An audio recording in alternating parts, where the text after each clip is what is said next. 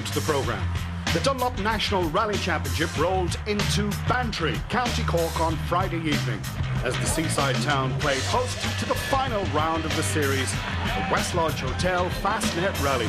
It was Bantry's first time as venue for the popular event, and as expected, there was a bumper entry for the rally, including Melvin Evans, Dennis Cronin, Dara O'Riordan, and Eugene Donnelly back in his Corolla WRC.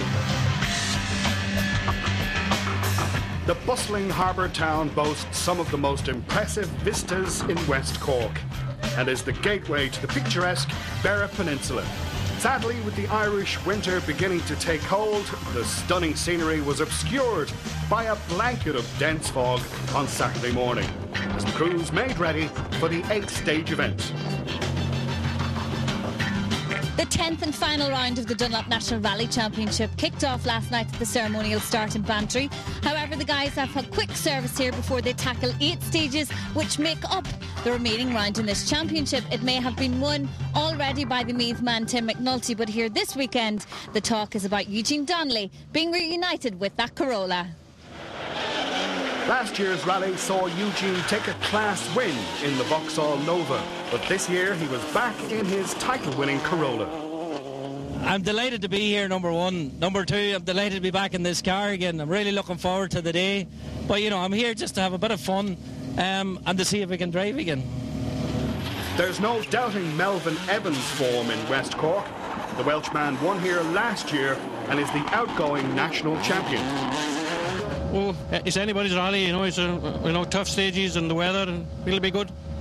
No, I'd say, I'd say it'll be a great rally. I'd say great to watch and great to compete in. And even down the field as well, there's some great cars in all the classes. So I'd say it'll be a good rally. Of particular interest was the battle for the Rally Rally.ie two-wheel drive award, which was between Frank Kelly in the Class 13 Escort and Wesley Patterson, who had already wrapped up the Class 14 title.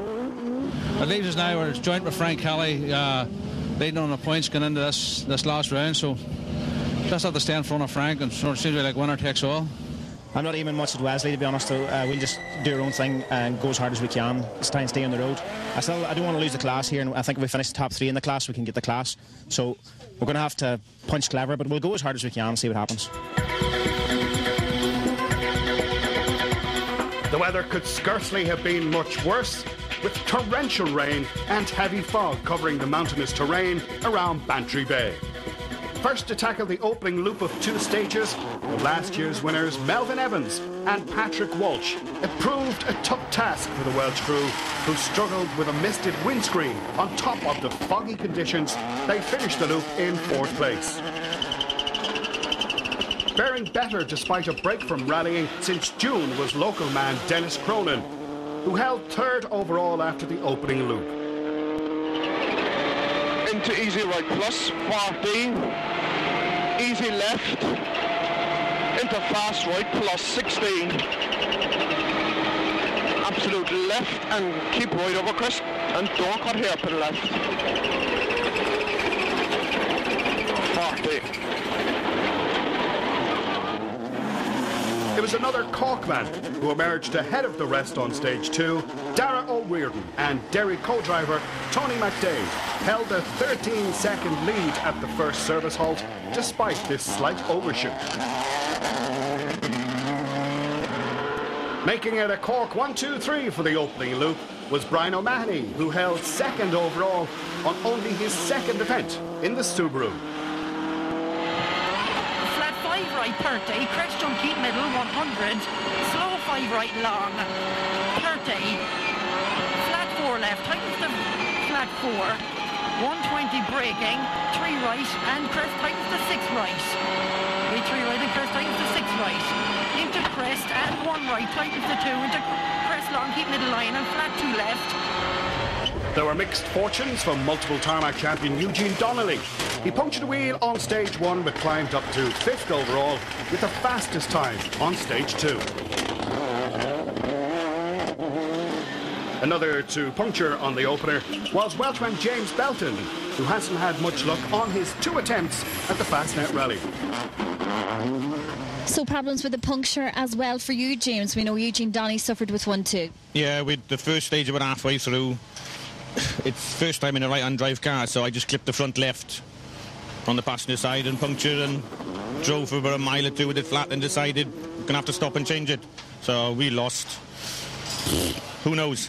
But who cares? It's, we're having a laugh. There was better luck for Stephen Simpson, who held ninth overall, although the Mancunian wasn't happy with the suspension settings in his Subaru. There's definitely going to be a WRC battle in the field today, but amongst the, the Welsh and UK visitors, is there a bit of rivalry amongst them as well? Oh, yeah, there's a bit of crack with all of us, so there's a bit of a betting going on last night as well, so I'll say nothing, I'm going to wait till the end. Is there a bit of an internal prize maybe for the winner amongst you all? Just a bit of money we've got on it, that's all. It was hard to know who to back in the Rally.ie two-wheel drive duel, although Wesley Patterson had his nose in front after the opening loop. Just 10 seconds in arrears was Frank Kelly, who had less power in his Mark II, but these conditions can prove to be a great equaliser. The first of two Darrians in the rally was that of James Stafford, who held 8th overall. The second was Washington James' example, who was off the pace and down in 20th place. But setting the pace in the two-wheel drive section was Cork's Barry Mead, who had a flawless drive to hold 6th overall at the break. There's absolutely no grip out there whatsoever, but it was just a case of uh, short shifting the gears and getting up the straights and braking early, getting through tight bins. But uh, no mistakes, no spins, no overshoots. So that's the way to do it today, I, I would be thinking. Sam Smith was in a battle for the Class 13 title. The Carlow man trailed Frank Kelly by just four seconds after stage two. In Class 11, there was local pride at stake, with Damien McCarthy holding the lead ahead of Cal McCarthy, no relation. Cal took third in the junior championship at the last round of Donegal and was scaling a steep learning curve on his home turf. In Class 9, it was a familiar sight with Lloyd Hutchinson leading, whilst holding 14th overall in his Mini. 8th overall after the opening loop, Fergus O'Mara struggled on stage 2 and dropped to 13th. David Condell hoped to play it safe today in his bid to secure third in the Class 14 Championship. One right 40, flat to the next junction, flat left 80, long one right into flat left 120, and turn open hairpin left, open hairpin left here.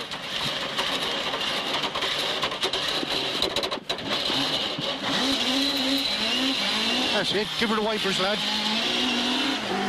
Holding the upper hand so far was younger brother George Condell. The former junior competitor was third in Class 13. Into four right over big crest that house and two right in over bump. 80, turn square left, no escape. Go now 120. There, right, that was nice.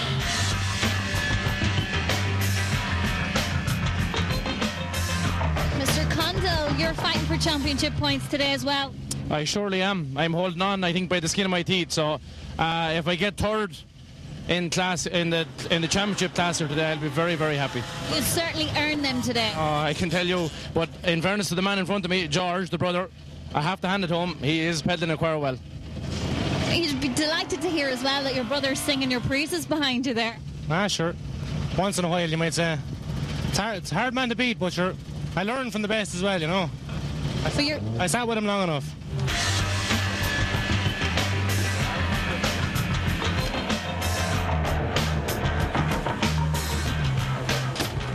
It's still very close, but it's tricky. It's very tricky out there. The last, I know there was a lot of fog in it and it's wet and, you know, it's, it's very tricky. But, you know, we're back, here know, hopefully it'll clear up a bit and we've another, you know, the rally's only started, so we'll have to keep going.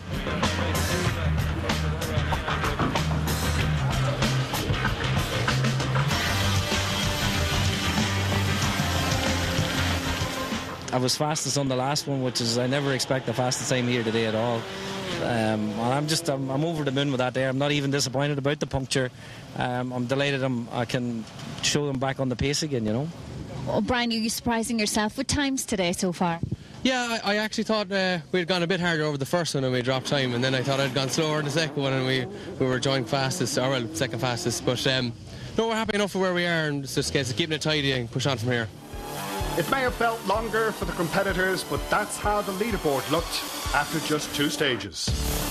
So we've reached the halfway point at the Fastnet Stages Rally. The buzz continues in Bantry, but the conditions worsen on the stages. Will it be Dara O'Riordan's day?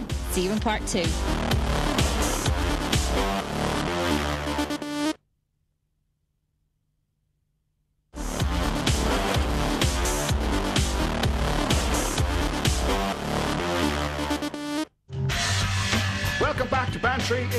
Cork for part two of the West Lodge Hotel Fastnet Rally. There was no improvement in conditions as the crews tackled the next loop of stages. In fact, they worsened. As did Melvin Evans' luck, the Welshman forced to retire on the third stage with mechanical trouble. Uh, we just started the stage and everything seemed fine, you know. We were having a bit of a go. And then went over one of those jumps and we just lost drive. So it uh, broke the output flange on the gearbox. So we just locked the diff then to drive out for there. So unfortunately our rally's over, but that's life. Live to fight another day. Dennis Cronin was happier with his suspension settings for the second loop. The local man climbed to second place after stage five. Crest 60 through the farm, um, left over crest there is 115. Right over crest jump, and over crest.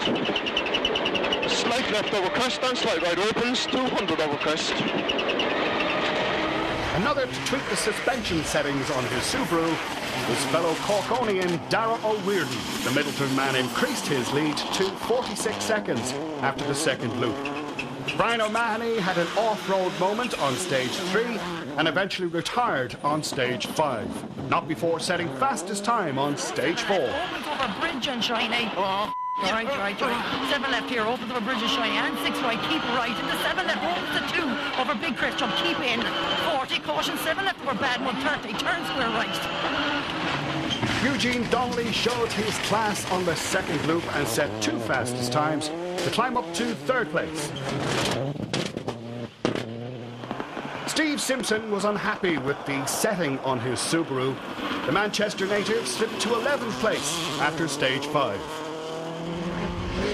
The lead changed hands in the race for the Rally.ie two-wheel drive award. A poor tyre choice saw Wesley Patterson slip seven seconds behind Frank Kelly, who climbed up to seventh overall. Who was now trailing Sam Smith in the Class 13 battle. Fourth overall and leading Class 14 was Cork crew Barry Mead and Liam Moynihan, who were 17 seconds ahead of Wexford's James Stafford and Amy Ryan in the Darrian. They're magic times that you're punching in today, James. You've got to be happy with where you're lying at the minute in that top 10. Yeah, no, we're very happy at the moment there because the, the stages are very slippy and we're finding it hard to get grip, so we're very happy where we are at the moment. Uh, just glad to be there. Damien McCarthy still held the Class 11 lead and had climbed up to ninth overall on his home event. Conditions worsening throughout the day. I think a lot of competitors have noted that. Yeah, but they're suiting us a little bit. The wet and the muck is kind of suiting the front wheel drive, so we're happy enough. 14 seconds in arrears was Cal McCarthy, also in a Honda Civic. Do you have any experience in the fog? Uh, very little. Uh, this is actually our second day in the rain, even so we're just taking our hand out. Learning a lot today then. Oh, a hell of a lot. The, the jaws are dropping coming to corners, but we're getting there. This last stage out of service, the rain was treacherous in it. The wipers would hardly clean it off the screen, like, you know. So, yeah, I might be after drying up a bit now since, uh, might be a bit easier. It was all to play for on the final loop of the final round of the Dunlop Series. And turning to the class results, it was a fourth place finish in the junior section for local man Colin Roach. But keep it at it now. And does it shake in? Don't stop till you see the 3 2 1 ball, right? Keep it at it now.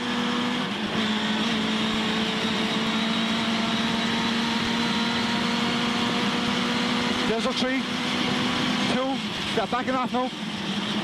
Right entry, okay? Right entry. Tis open, tis open. Back in, here eh? up and right, sorry.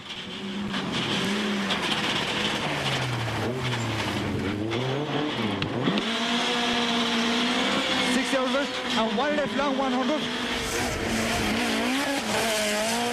Third in the junior class went to fellow Cork crew Darren Loftus and David Beamish in the Civic.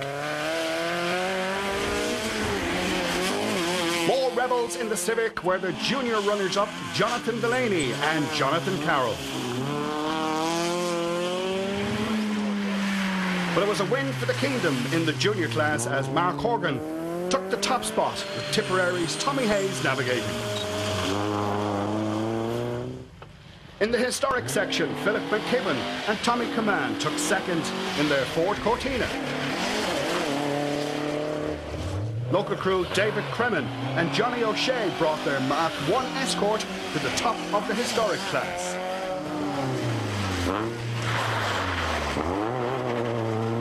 Tipperary's James Dunphy had fun sliding his Honda Civic around the stages and took the Class 2 win for his efforts.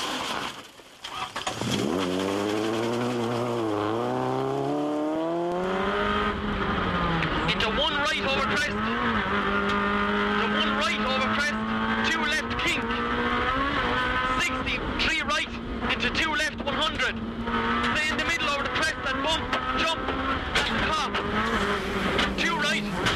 150. Bumps okay. Here. Stephen Carey secured the Class 3 national title with a win on his home rally. In Class 4, Vincent O'Shea's debut drive in the Mitsubishi netted third place for the Kerryman.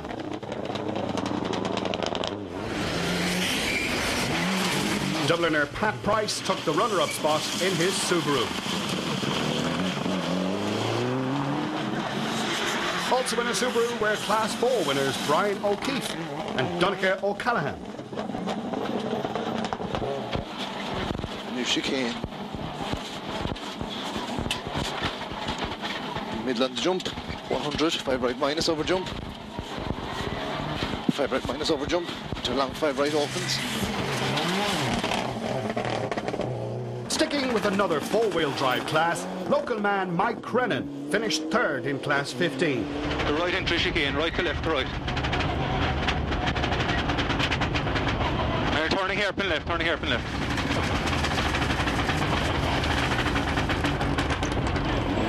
Easy. Welshman Gwyn Thomas took the runner-up spot in his Ford Puma. But it was a home win in Class 15 for Ian Chadwick and Stephen Quinn in the Subaru. The early retirement of Shane Timoney cleared the way for Eamon McCafferty to take his second Class 5 title in a row after a year-long catfight between the two Pumas. Skibbereen's Pat Callan and Trevor McCarthy won Class 6 in the Peugeot 106. Local crew Adam Platt and Alan O'Flynn won Class 7 in the Ford Focus. Martin Lorton survived a few scrapes on his home rally to take the runner-up spot in Class 9. Five right here. Two left, 60. Open hairpin right, continues 150. Two right, stay middle, 100. It was another Class 9 win and another Class 9 national title for Wicklow's Lloyd Hutchinson and Kevin Flanagan, who finished 11th overall in the Mini. Former club president Jerry O'Mahony was trying out his new sequential gearbox, which was a gift from his son Jason in Australia. He finished second in Class 10. Cavan's Patrick Kiernan and Dara O'Brien took the top spot in Class 10. McCarthy had been third in Class 11 before he had to retire with mechanical trouble. 60, stay left, over big jump 170, mid over big jump, flat right. Mid over big jump here now, flat right, easy. Easy, one left, in over crest and long one right. Stephen and Kenneth O'Shea were glad to finish after damaging their Class 11 Starlet on their home stages. One, one. One, one, continues into a five right, 80.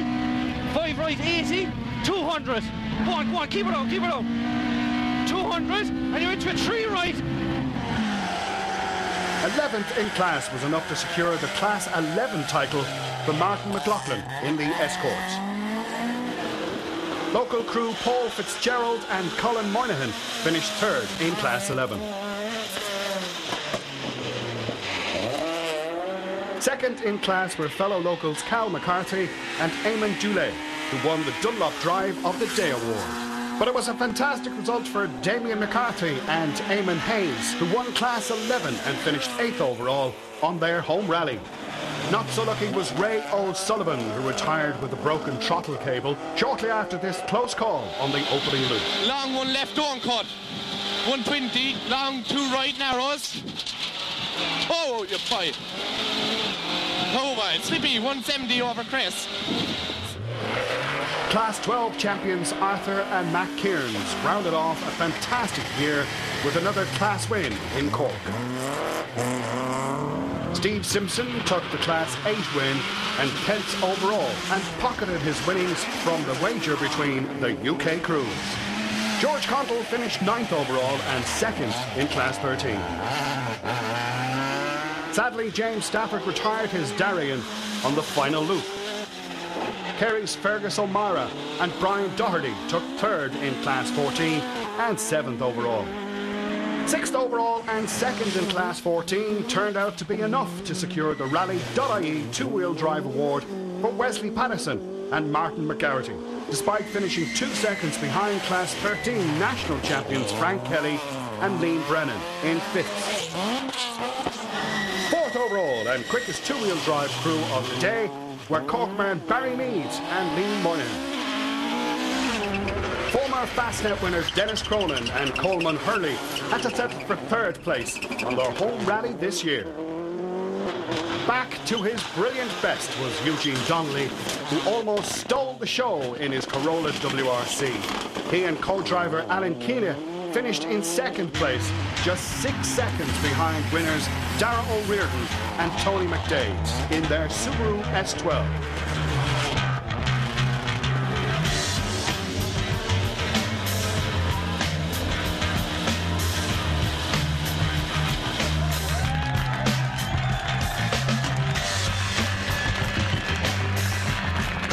Know you're doubling up with birthday celebrations. I know you're delighted with this win. Yeah, absolutely delighted. It was a really tough day's rallying. And uh, the last loop there, uh, Eugene was taking time out of us, so it was really close in the end, six seconds or something. So it was, no, I was really nervous though all day, but no, it came good in the end. So as the champagne flowed for Dara and Tony, another man ready to celebrate was top two-wheel driver Barry Mead. Barry, what a drive today. You nearly made this look effortless.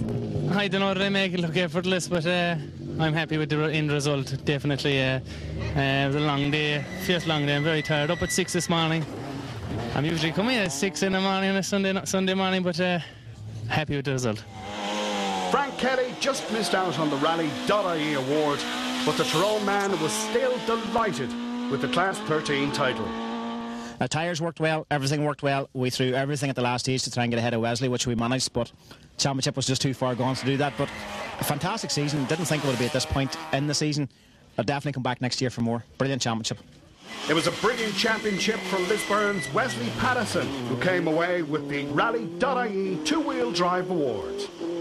Uh, it's been a, been a long year. We've had a good run in the national. Sort of thought it was all slipping away there in stage stage seven. The clutch started slipping, but it held out to the finish and get the championship at the end was a good bonus. So there's the results of the Fastnet Rally, and a look at the overall leaderboard confirms the final scores in the Dunlop National Rally Championship. Well, it's hard to believe it, but that wraps up another season in the 2011 Dunlop National Rally Championship Series, and what a year it was. It was a fantastic display of competitiveness, organisation, and dedication from competitors and organisers alike. We have winners to McNulty. Today's day, it was Dara O'Riordan's, but we're looking forward to seeing who is going to step up to the plate in 2012. But for now, from myself and the rest of the crew here at the West Lodge Hotel in Bantry, see you soon. Thank you.